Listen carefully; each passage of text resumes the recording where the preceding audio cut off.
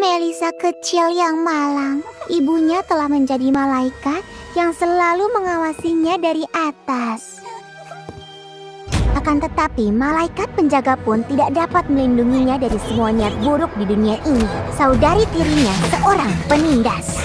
Dan akhirnya, Melisa memutuskan... Kau harus bayar atas yang kau lakukan. Oh, sungguh?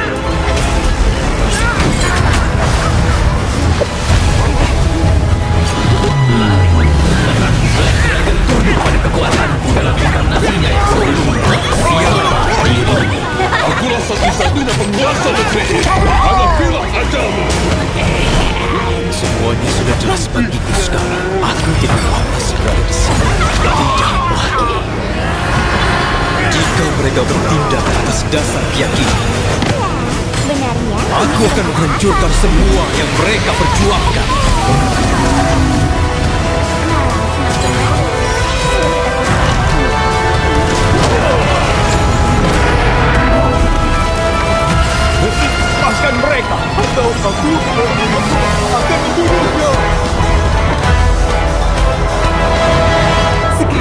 kamu membuatku marah.